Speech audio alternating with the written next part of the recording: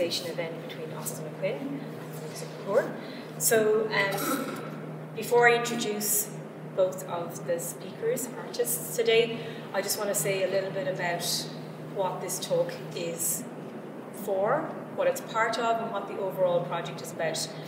So I know a number of you were present, I think present is the right word to use, at um, Austin's amazing 24 hour performance Imperial Lunatic on Saturday um, at various points throughout the day. Um, and that is part of his exhibition, which is at the Art Centre, which you can view until the 13th of May.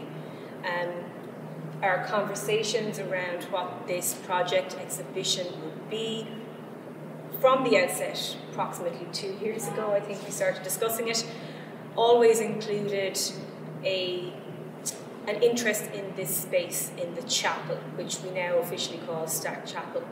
At that point, it was to become part of the Art Centre. We didn't know when, everything was on hold with COVID.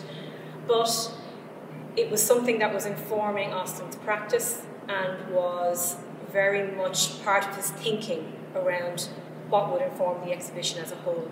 And as part of that, we worked on and proposed the idea of a residency so that the performance you saw on Saturday was a result of a prolonged period of time engaging with the space, with the history of the space, and with, I suppose, the nuts and bolts of the building itself and what it feels like to be in here.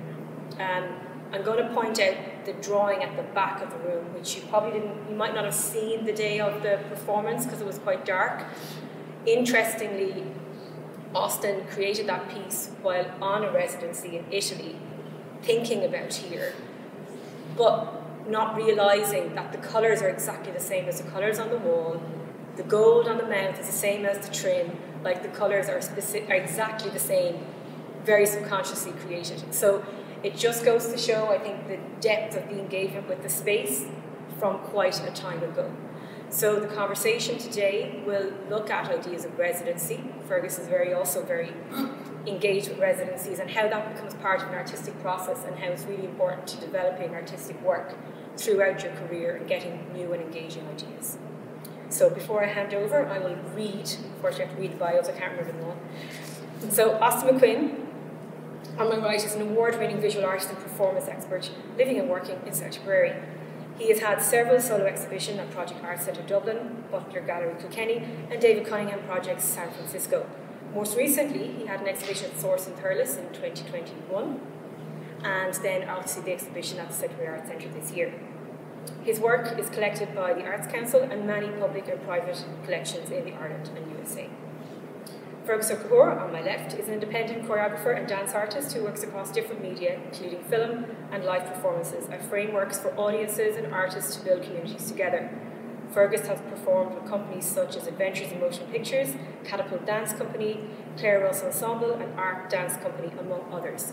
From 2018 to 2020, he was Artistic Director of the National Dance Company of Wales. He is a founding associate artist at Project Arts Centre and is Deputy Chair of the Arts Council of Ireland. We'd also like to take this opportunity to thank the Arts Council of Ireland who did support this project, especially the whole entire um, exhibition and its work with Austin, both from the point of view of the Arts Centre and also um, Austin's own artistic practice, and also supported by Tipperary County Council. Without any further ado, now that that's all done, I will hand you over to Austin and Fearghus to enjoy the conversation.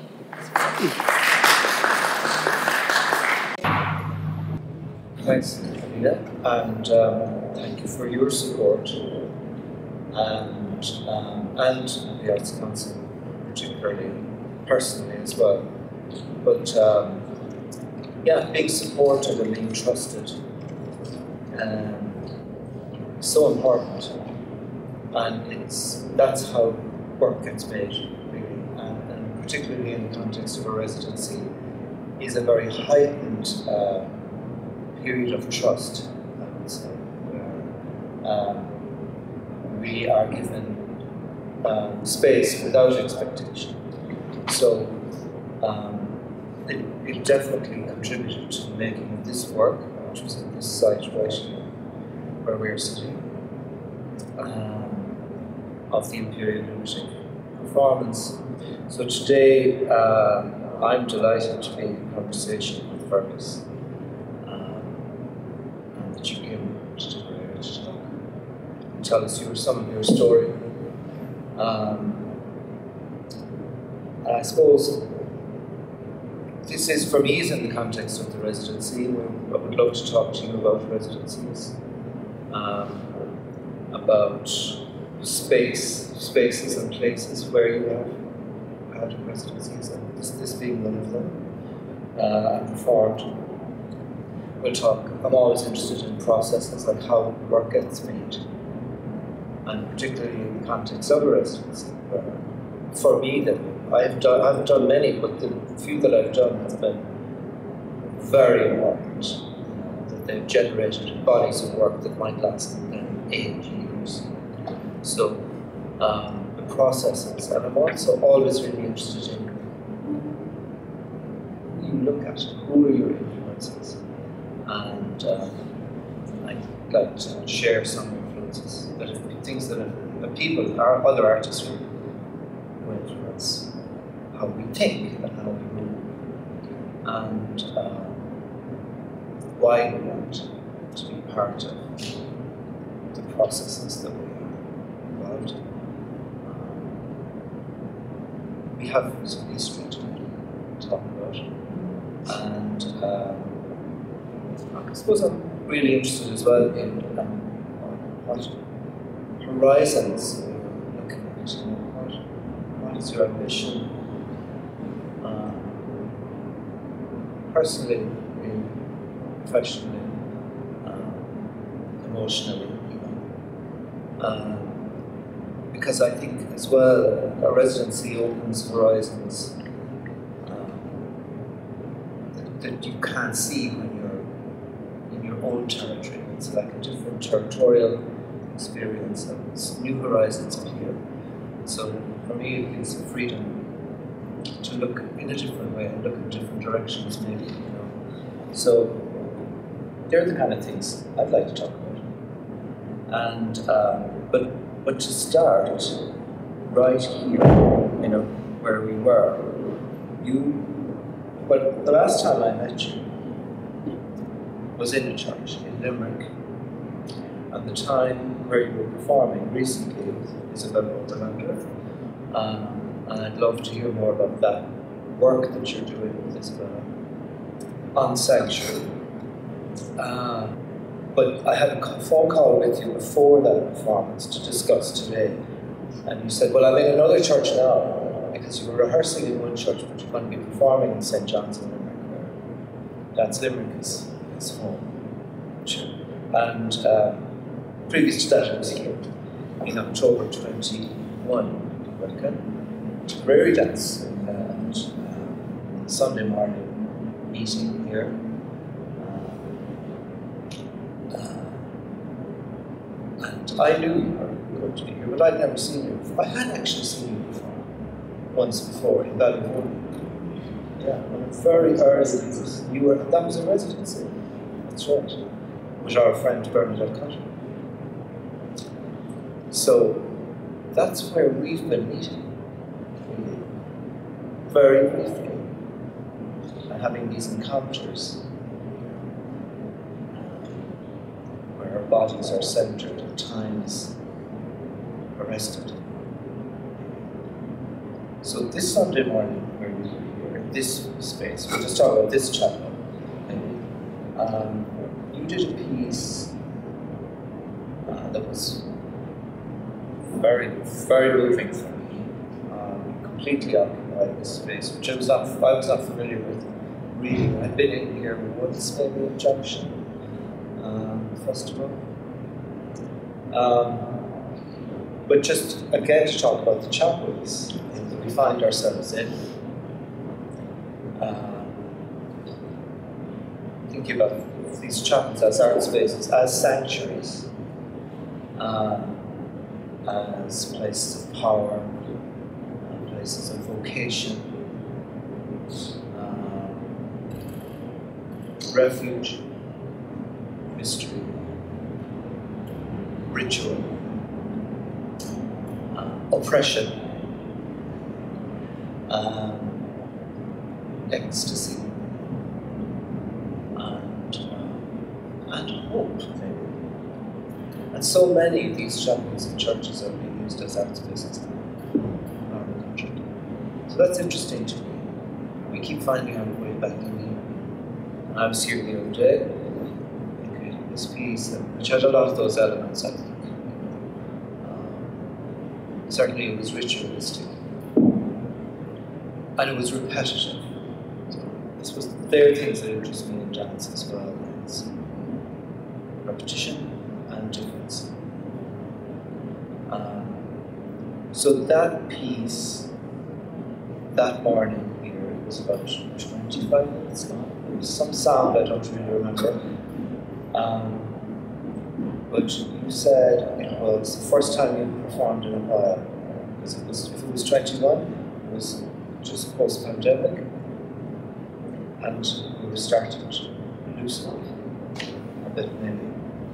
So, just talk a bit about that first. Hi, can you hear? Can you hear me if I talk like this? Yeah, I really remember it.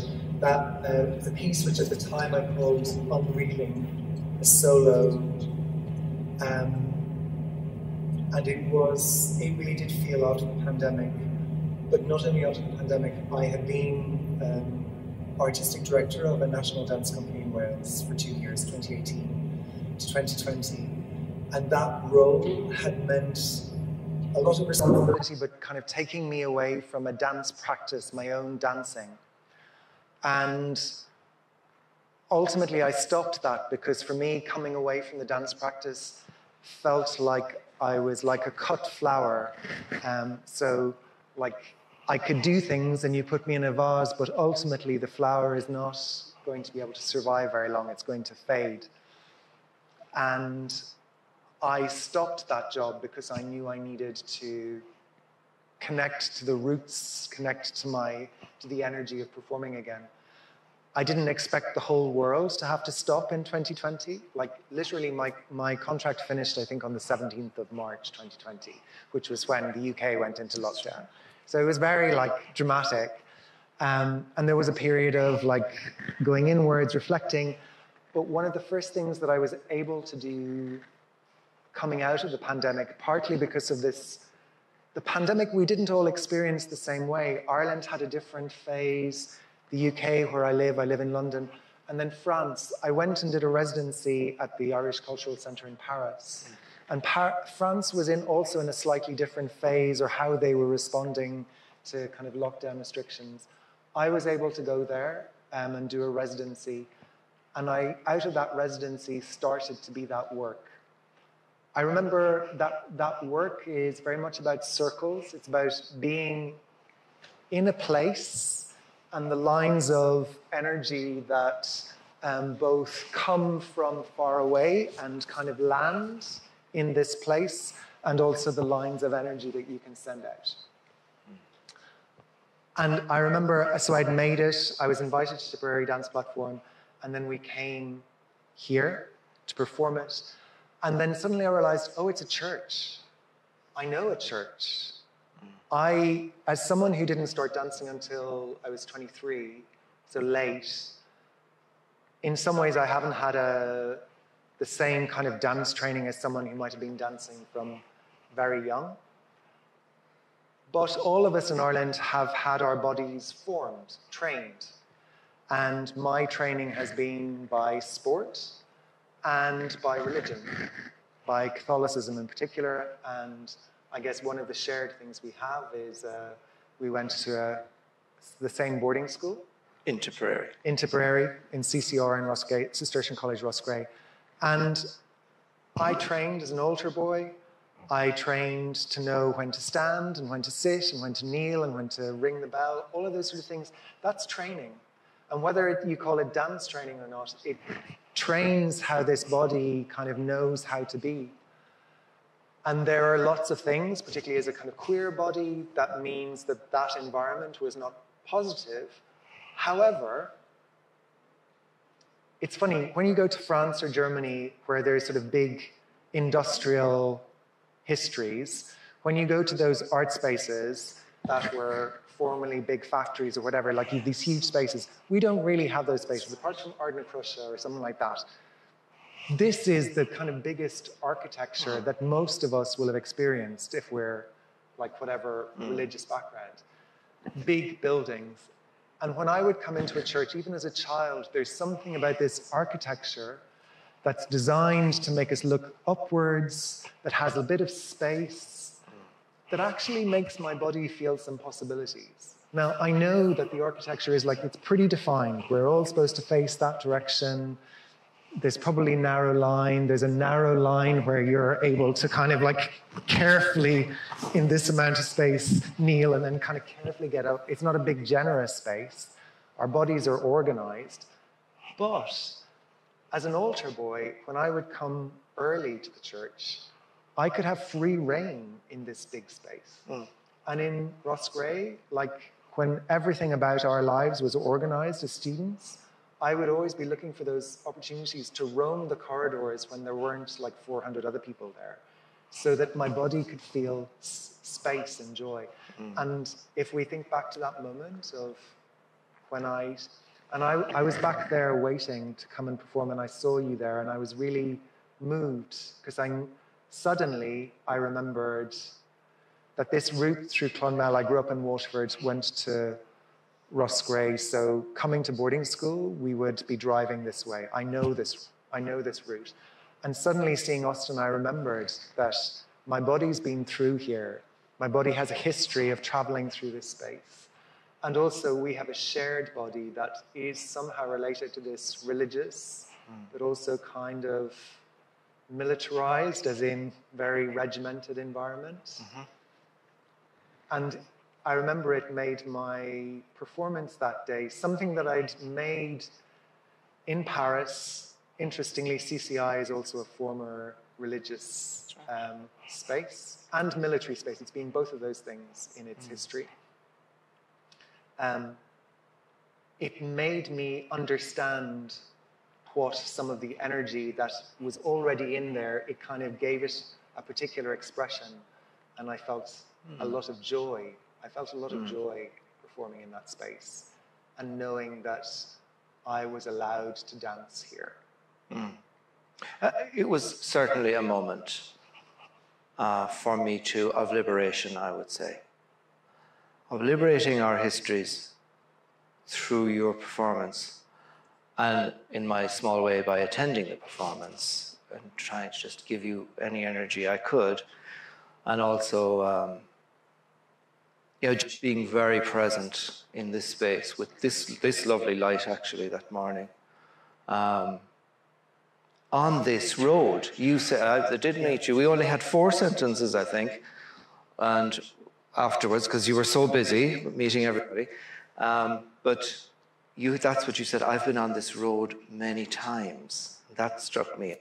Very poetic also, you know, that we have been on this road, this route, you know, through performance through our bodies and through our histories um, tangentially, but we haven't met until that moment. Yeah.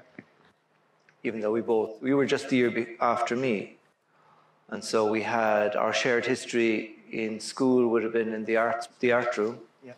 and music and um, music class and any alternative activity we could find and do excellently that would get us away from the regime.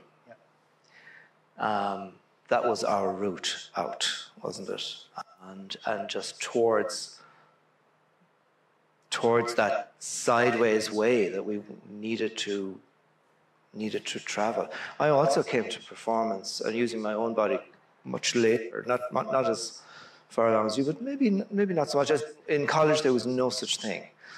In art college, um, it was never mentioned, performance art. Um, and in reality, I think I would have seen Nigel Rolfe perform uh, in Cork in the Triskel. Um, he was active, he was so unusual, and he was he was performance, you know, in in in the south of Ireland anyway, the Republic, and Alastair MacLennan in the north, of course. And then it was other people, you know, um, abroad, but I had no understanding of performance or what it was really until later. So, um, in that way, uh, it wasn't just something I learned, you know, in college and went on. Much like you, you, you, you, you went to Oxford, but then you started going to dance classes at night, kind of thing, and under cover of darkness, you started finding your Yeah, I mean, I route. I loved dancing, and I was going to ask you about that. Like, I think I did love dancing. I grew up in the Golden Ring. We had céilís. I liked that. Um, I we had operettas in Roscrea, and we had little choreographies that went with that. But like, no, I didn't do Irish dancing. I didn't do. I had no, I had no kind of training. Mm. I remember learning Thriller when, when there was, when the Atlanta Olympics were on, and for the first time, like young people won't realize, but like TV didn't start till the afternoon, and for the, the Atlanta Olympics, because it was on early in the morning, they had a sort of morning show, and as part of the morning show, over a few days, they thought they taught the choreography of Thriller, and I, as a teenager, was like learning that. I was like, I have to. I mean, I guess it's sort of like a broadcast TikTok, um, and I had to. I had to learn that. So I knew I really enjoyed it, but there was there was no way to think about that as a kind of way of expression, and it was to, through doing drama, through doing plays, and then a musical, mm. and a musical with some movement, that the dancing came. And as soon as I was dancing, I knew that that, I knew that that consumed me, mm. and I wanted to do it. I was wondering for you, we'll say, given that we were, again, like in secondary school, a lot of sports, the, the mm-hmm. body was kind of channeled in a particular way, and that didn't ignite for us. That that wasn't. But No. and, and people would sort of say, "Oh, you're not physical. Like that, you're not physical." When in fact, we were just waiting for the opportunity hmm. to be like as physical as we could be. Mm-hmm. And I feel that in many different ways. Hmm. That somehow the options off, offered to us, um, like I think all of us have this appetite to live and explore our bodily possibilities. It's just we have to find the ones that are going to make sense for us. And mm-hmm. For everyone, it's not going to be yoga or camogie or rugby or whatever, lacrosse. Maybe it is performance. How did it? How Yeah. did you know that it was the find your way to that It's a great, it's a great question. Uh, let me see. I suppose, um, I suppose through looking at some one or two other artists that I'd come across who I would consider like image makers and um, and that also use their bodies to make an image. So from my, my route into live art performance was through artists, particularly someone like Joan Jonas, who makes sculpture and occasionally then uses her own on installations and occasionally would use herself in order to make something else and makes that into a piece of work or you know holds pieces making holding mirrors you know um, where that's the that's the artwork so it was, it was that you could use your own body to make a piece but also that that that's the only way that that piece can be made. It cannot be made in any other way. I can't do a painting of me with a white moon. It's not going to work. I didn't even do a drawing of it. It can only happen in real time and space, live. And I think mostly, unusually, with this exhibition, which is at the Art Centre, Berry Art Centre, of paintings and sculpture, often I've done the, you know an installation and then made a piece as a live art piece, and then left that piece in the space as a as, an, as a work. The evidence of the energy. For me, I think it's energy, and um, the energy in a painting or a drawing, the energy that's coming off a piece of work, and that it's uh, that, that when it's when you're using yourself your body live, it's it's it's so exciting, and it's. Um, it's uh, yeah, as I say, it's, it's, there's only one way to make this image. So for me, I'm trained as a painter. Um, And so I, I, only, I really only know about making images. So every single image in this long performance, I think I said it to Helena about halfway through. I said it's the only thing that's tiring is just giving images all the time. You know, it's like creating something new all the time. And the last image, like this image of the shoulder, I didn't use until the very end. It's like it took 24 hours to get to that image. You know? And then and now I understand why I was using it. But it can only be made. And I suppose using your, me using my own body in that way is, is for me, makes the work deeply authentic. Um, in that I am not representing anybody else. I'm not trying to represent anybody else's experience or inhabit or evoke. It's entirely my own experience. And it's also about um, eliminating and, and, and um, liberating my, myself from my experience because I just become matter. You know, it has nothing to do with my ego. That is not the place where art is made. We all have egos. You know, someone was talking recently about artists' egos and being really tired of them. You know, they look, they see, they want attention all the time. Why do they need so much attention? You know, looking, looking at. No, that is not the case. It's actually the getting rid of the ego. This is what you learn in art college. It's how to lose your ego and how to become id, you know, the place of ideas. This is where you go so that you're, all those things inform your work and your personality and our histories inform our work. And, and I completely acknowledge that. But in order for the final artwork to be made, you know, so much has to be processed and lost and given over to the artwork if, in order for it to then have a life of its own. You know, it's not about me. I'm not even interested in my own history. You know, why would, or any, you know, or my opinions about anything. But I'm very interested in how art can transcend all of that. And um, but coming back to chapel spaces, I think um, Donna Haraway she talks about a sacramental consciousness, that artists um, have access to this. If you have the kind of upbringings we had, like Irish Catholic, religious, semi military, disciplined um, um, investment into the young body uh, in order for it to perform well, you know, for the upholding of the imperial order or the church order or the state, whichever is the order that needs bodies in order for it to perform and succeed indefinitely into the future on its agenda.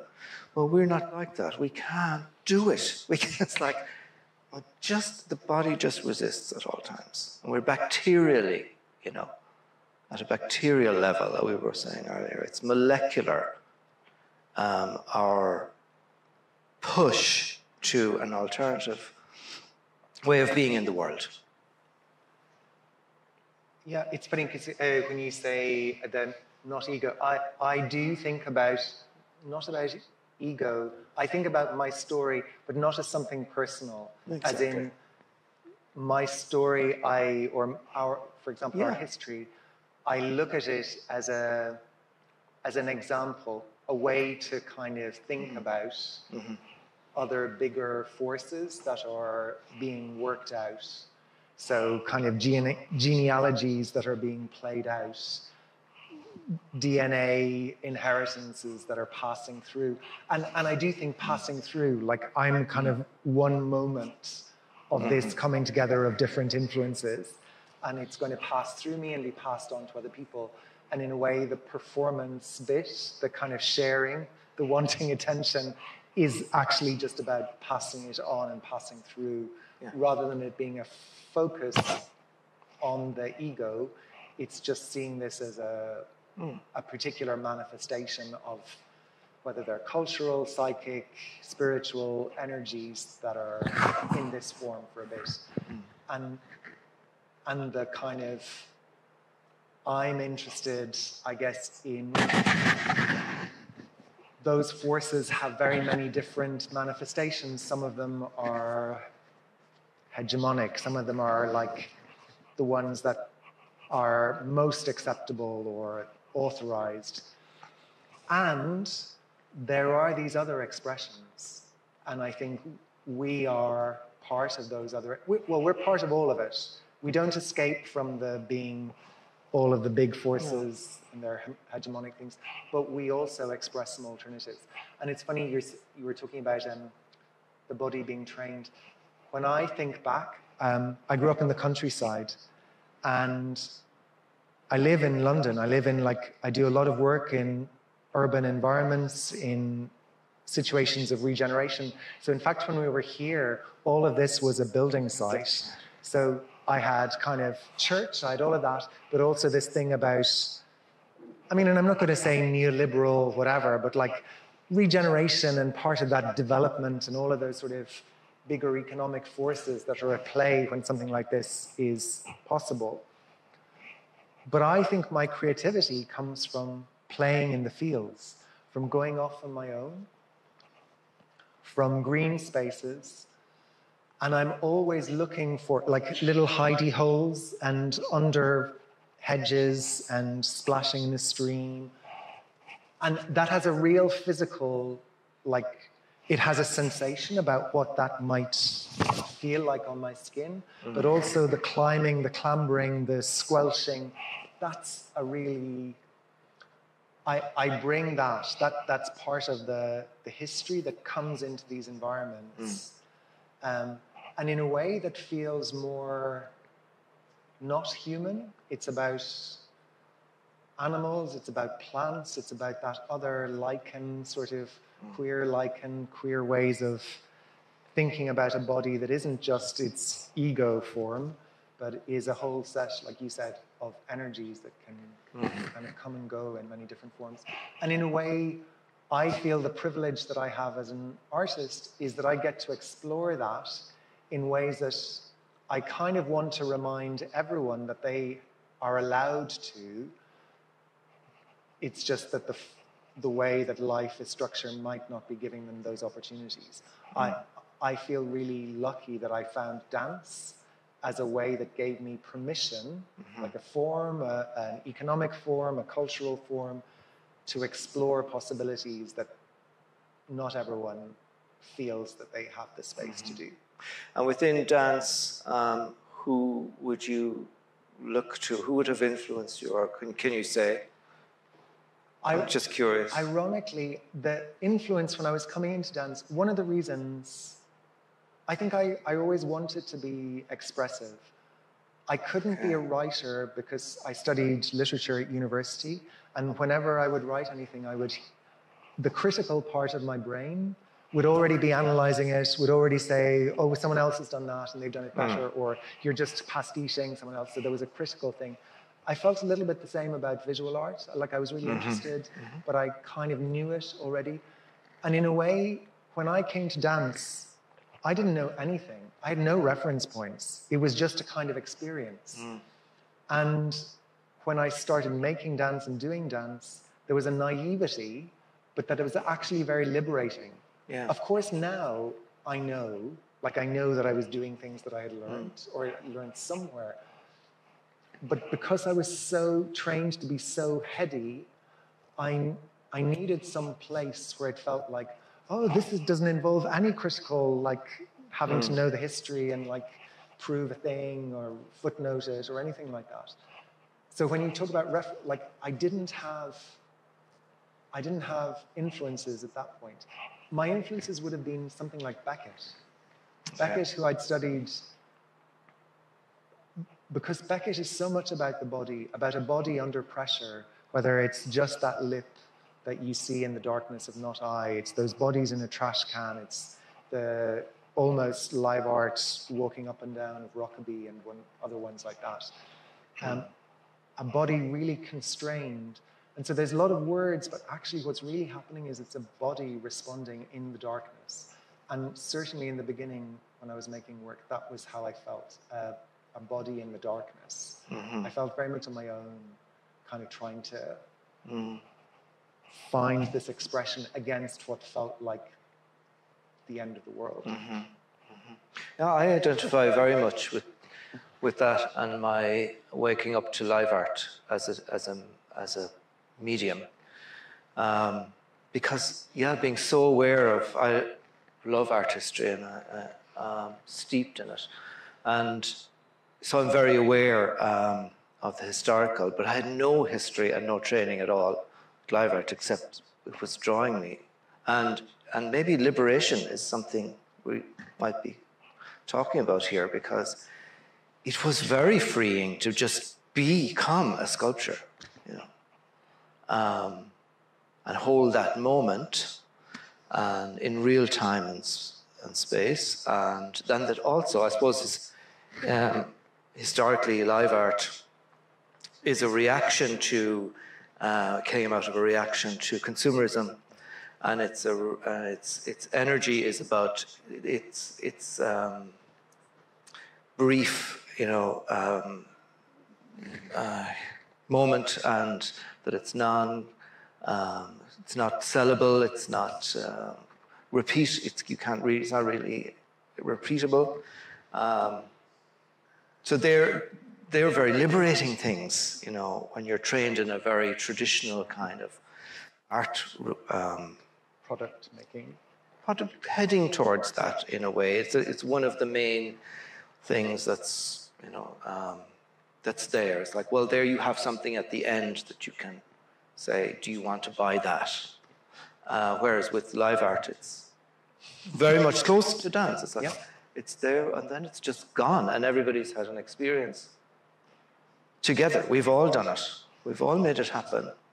The hours that I was here those first hours doing this 24 hour piece, uh, anytime there was no one here, was excruciatingly hard because there's no energy. It was just whatever bit of energy I had. I, know, plenty of it, but it was not even interesting to me because, you know, like coming back to it, it's not about me at all. It's like I'm just making an image here. It doesn't exist if nobody sees it.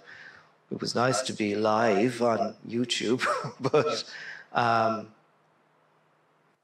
that's that's crucial. So that coming back again to our Sunday morning here, you know, and these are all the things that can happen, I suppose, in a live event where the body is central, it's non-verbal, and um, we're kind of getting right down to the essence of of being alive, really, in that moment, and feeling me feeling sedentary as you move and, you know, hungry or not, or tired or awake.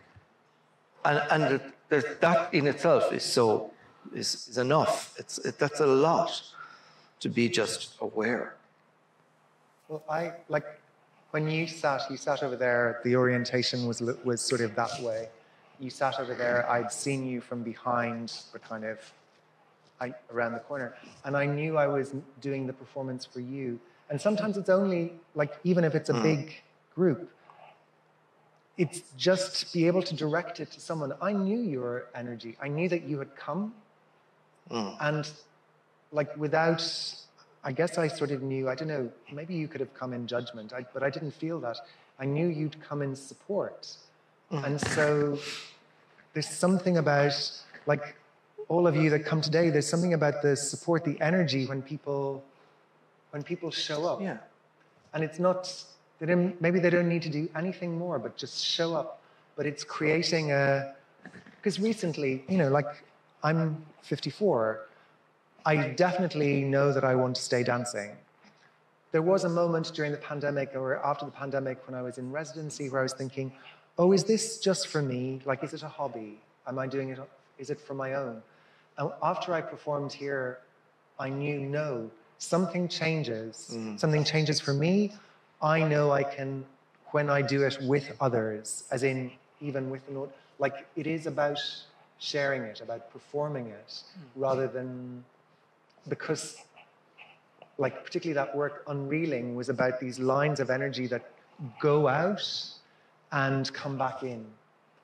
So it's not just about doing them, it's. Mm unspooling um, these large, and, and knowing that even a small molecule can send its energies out dis, in a dis, you know, to the distance. Um, even if the, that kind of, it doesn't have to be a huge thing. It can just be one body. Mm. But it's an exchange. It's an exchange. Yeah. Yeah, that's what's important. It's exchanging. For me, is exchanging ideas and uh, energies, definitely, and empathies. Um, you know.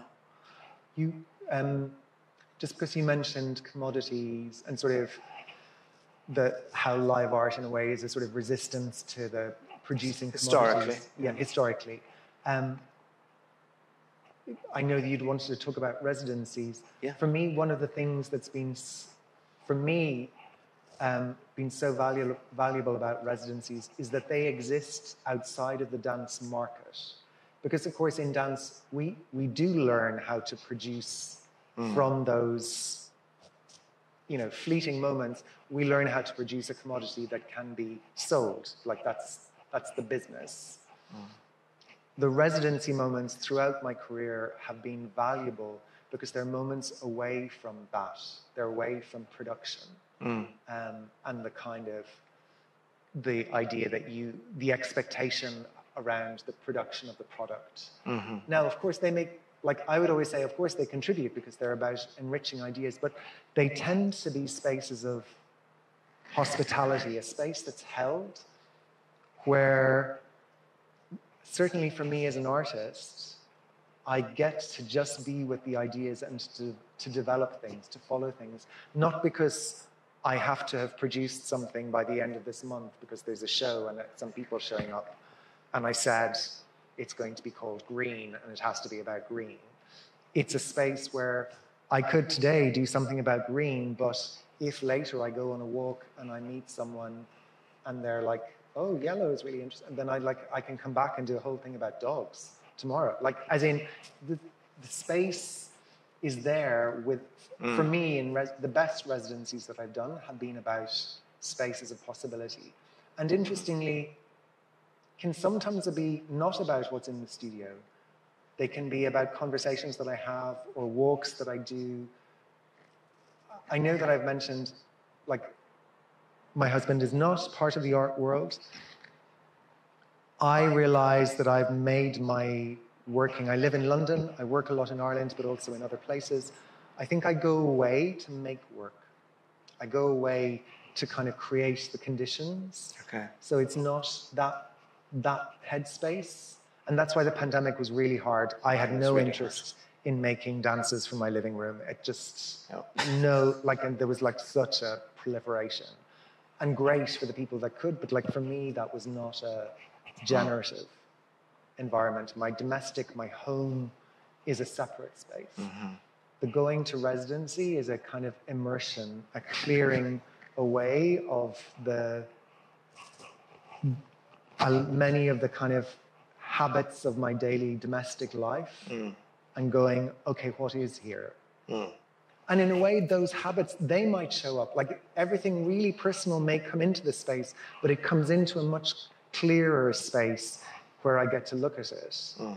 and evaluate it and where I'm open to possibilities. So residencies are really valuable. I yeah, they're, they're, they're fascinating. I did. I've done two residencies yeah. last year. One was in Assisi, and where I um, and my was a shared residency with my friend Eva Bavenzi. She came from San Francisco. We've done at least one residency together before, over a 20 like years. We've done. We met on a residency actually in Spain. And then I did nothing, you know, for 10 years, then another residency, and that generates a whole other thing. So this was Assisi. And it was post-pandemic, and Eva had known about this, and she, we said we'd apply for it. And we hadn't, she had not left California, like, for two years. So it was, everything was very heightened, but it was, it, it really functioned as a, as a as a residency, as in, I think on day three of the residency, I made that drawing that Helena was talking about, which we will show it, you know, of this figure with this mask and a tongue. Okay, so I just sat down and did that drawing, and it directly came out of being on a residency where there was no expectation to do anything at all, except all we did was every single day for a month we went to the Basilica and looked at frescoes. That's what we did. And um, then started working at home, you know. But there was no expectation or anything, but I really did want something to come out of it. And then Helena suggested that I do a residency as part of the exhibition at the Art Centre and in kind of in preparation for this experimental piece of work. Um, so I did, I was artist in residence in my own kitchen. you know? And how did you create the conditions? How did you, how did mentally, you know you were in residence? Mentally, yes. I was just like, for, on, when did my residency begin? Monday. Okay. Yeah. So on Monday, it was like, there's something shifted, definitely. I said, I had these ideas because this, this drawing was going to be the center, and that green and gold you're talking about, it's on the walls here. Um, I did remember it. Like I knew when I was sitting here at your performance, this institutional pea green and gold trim, you know, entered into my mm-hmm. consciousness and brain as the color of, you know, these buildings and the corridors we would have walked through in boarding school are green. Right? So to me, this color is very particular. It's not oppression, it's just loaded, you know. So I made this head, the head is this green color and this gold mask with the tongue. I suppose masks, this mask, not the eye mask, was, was what we lived with for so long. And the tongue for me, so it became the thing that came out of the residency, okay, um, which was totally new. So everything else I had pretty much planned. This was going to be a lunar event, you know, there's a volcano, which I'm obsessed with, um, and um, these other elements, like the music was really important, the sound, percussion, and slowing everything down for an hour, and just taking 24 hours to repeat one thing. Um, we're in 24 hours now. We're in the next 24 hours of the next 24 hours. So this is just trying to bring attention to that. But in the middle of all that, on my residency, um, I thought, how am I going to make this mask with this tongue? And I got some, you know, uh, children's clay, just standard craft clay in the art supply. And I made the tongue. And I really liked making this tongue. So then I made a load of tongues. And um, then I had watercolor that I brought from Italy, very beautiful watercolor. So painting these tongues. And then I made this tongue resort over here. where all the tongues were hanging out. Yeah. So this was this little installation, micro installation, that would never have happened without the residency, because there was no expectation. I had told nobody about the tongues. I just said there may be tongues. that the tongue to me is so fascinating because it's interior and exterior. It's the most fascinating organ. It's the organ of speech, of sex, of eating, of um, screaming, of pain. You know, it's the thing that's cut off if you want to silence somebody. So the tongue is, you know, very fascinating to me. And also it's interior and exterior, you know, and, and that's, that's where we are negotiating that, that kind of space all the time. Being inside here, um, and then leaving, being outside. So, what I'm really interested that you've spoken about, because you've performed here, and that's one of the things that our performing does, is that the tongues are there in oh, the yes. same way that I remember you sitting there in the performance. Yes. I can yes. I can remember my own dancing around these spaces. Yeah. And in a way these performances help to create new histories in spaces that have mm. other kinds of histories kind of encoded in them really mm-hmm. All of our bodies have helped to make other histories possible. These sort of performances that you're doing are giving is giving is giving a possibility, is kind of creating another emotional, psychological architecture in the space. Yes. And and I would say one of the other things, it's funny the, when you were talking about um, it not being about you, I was sort of thinking, oh, do I feel the same? I think one of the things about performing, and particularly about dancing for me, is that it's a practice that makes me. Like what I do, what I mm. practice every day, what we practice every day makes us. Mm. So I have to be careful because if I practice a military sort of, and you can be military about your yoga practice or about your ballet or about your, you know, whatever. You could be, you know, I could be disciplining about mm-hmm. that. I, I have to be careful about whether I'm choosing to become that person or whether I am choosing to practice something that kind of amplifies possibility that allows me to keep exploring. And I feel like all I want to kind of invite everyone to that awareness and possibility to experience choices about who it is that we practice to be every day. And so when you spend 24 hours, and it's interesting, like when I talked to you, you talked about being kind of out of, like it was an out of time. It, it has a resonance. It has a resonance with the people that came to mm-hmm. see it. Mm-hmm. It changes something in the world. So it matters what you perform, mm-hmm. matters what you do because it makes this matter be different. Yeah, absolutely, I agree. And and this is this like, this is a military chapel.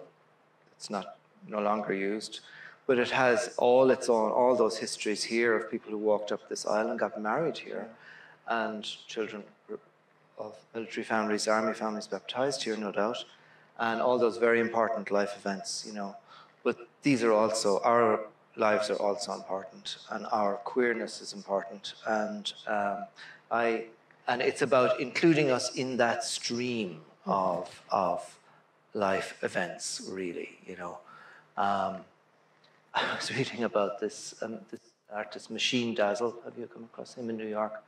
Yeah, he talks about this thing called queer maximalism, where it's everything is just what you're saying. Can we do this? And can we bring your ego or your ideas and your histories and create something new? I think you can. I think that is what um, I think that is what's happening in maximalism, where you can be, or in the Baroque. You know, this is what I look, I look towards the Baroque art, where you can be completely shallow and completely profound at the same time, right? This is queer theory to me. You know, where you are saying absolutely nothing except kitsch, and you're saying something massively profound about trauma, you know, or experience at the same, exactly the same moment. Or you're super visible and invisible, like a, like a, like a, a drag performer. You're, you're, you're totally there as you and all of your history, I would interpret. I certainly am everything, and yet I'm not there at all. I'm just a body without organs, as Deleuze says. You know, it's just I'm just a neutral, completely neutral thing, and yet I'm everything. You're all. It's all happening at the same time, and that's kind of overwhelming. you know? It makes but, me think about your the paintings in a way that um, everything is there, and also things are hidden. Like it's oh yes. Visible visibility and hiddenness. That's you're you're layering those yes. things. You're hiding things as well as making other things even. But I suppose the empowering thing is that you're choosing what to show and you're choosing what to hide. And, and rather than being told what to be, what to hide, yeah. it's my cho- choice to say what I'm going to reveal and what I'm going to keep hidden. And ultimately, I just want to make art.